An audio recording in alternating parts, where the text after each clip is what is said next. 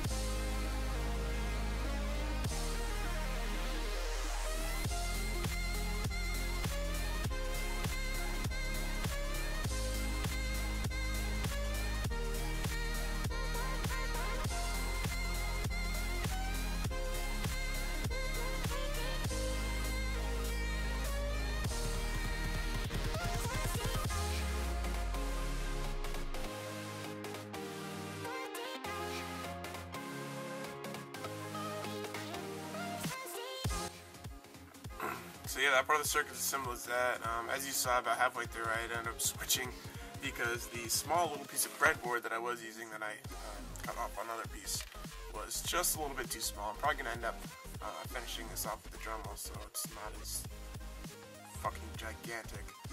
But, um, yeah, that's basically that. It's really simple. You just have to make sure that when you're using one of these, you connect the points on the bottom of the board, bridge them with solder. But other than that, this whole project, I mean, what, 10 minutes? All I have to do next is solder the rest of the wires on according to the diagrams. They don't need any sort of change. That's just a direct wire up. Um, so yeah, I'll get back to you when I just have the, the rest of those wires wired up, and then we'll look at programming it, reprogramming the chip on it, so you can use it to program the CoolRunner. Okay, so I actually cut this board down to size bit dusty. I put on all the other wires and um, what I'm going to add now is this pin header and what's nice about it is that it, you take your CoolRunner and it fits right on the pins. So instead of worrying about soldering uh, all of these each time I want to use a CoolRunner, I can just get uh, use one of these. This, these were mad cheap too. These are probably like I don't know, dollar or for like ten of them. Um, so yeah, what I'm going to do, I'm going to cut down these pins on the end short, and then I'm going to solder them on all of their corresponding things. So whenever I want to program the CoolRunner, I could just plug it in like that, and that's it.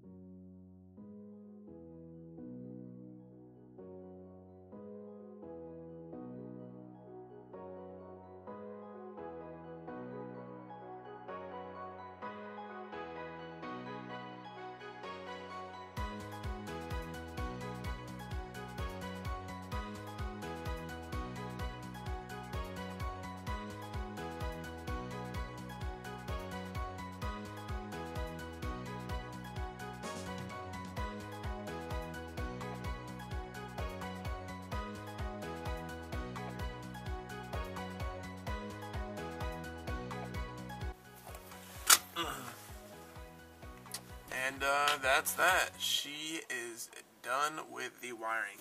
I changed up the design. I actually ended up putting the um, header on the end of the breadboard.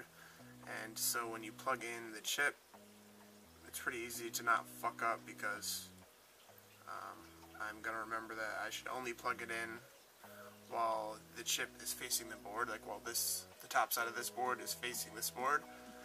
And um, yeah, so that should actually work, hopefully. Um, yeah, so now I'm going to take you onto the computer side of things. And actually, first, before I do that, so looking at this chip, so on this ground pad, what you're going to want to do before you program it, short the ground pad and the boot pad. Short those two together, whether you use a wire, a solder bridge, anything. Short these two together so that will kind of put this into a uh, program mode so we can write the new BIOS onto the chip. So I'm going to do that real quick and then I will bring you onto the computer side of things for us to program. Okay guys, so here we go. Here's the computer part of the tutorial. You're going to want to plug in your device, go to your devices and printers, right click, properties, then go to the hardware tab, click on update driver, browse, travel to the location where the drivers are from the pack that you downloaded from Se7enSins. So go to PIC firmware, select the driver folder, OK, next, and then it will quickly install your driver. Okay. And then here we are going to open up the PIC program that was supplied in the pack, PDF PDFSUSB.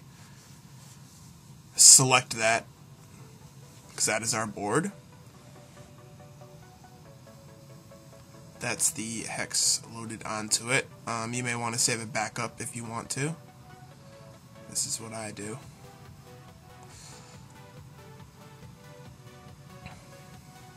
Oh, I'm sorry. First, you're wanna, gonna want to click Erase Device.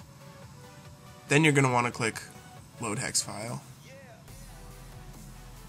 Then you're gonna want to click PIC XSVF. Then Program Device. And that, it's as simple as that. And you're done. So here's the finished product. As you can see, it works. I actually just programmed this cooler so I could uh, RGH 1.2 this Jasper. Um, yeah. Uh, the only problem I had in mind, I think that when I put the wires onto the little connector that I have here, this little header, that um, there must have been a short or something, and it wasn't programming, but I just soldered the wires directly on, and uh, it just programmed successfully. So, yeah, uh, that's it. I hope you guys enjoyed. Uh, please comment, rate, and subscribe. If you need, if you have any questions, just leave them down in the comments below, and I'll help you out the best I can. That's really uh, self-explanatory, pretty much from the diagram. It's really easy. And if you're not looking to drop 40 or 50 bucks on a uh, regular programmer, you could buy one of these for like six bucks. So, okay, guys, thanks for watching.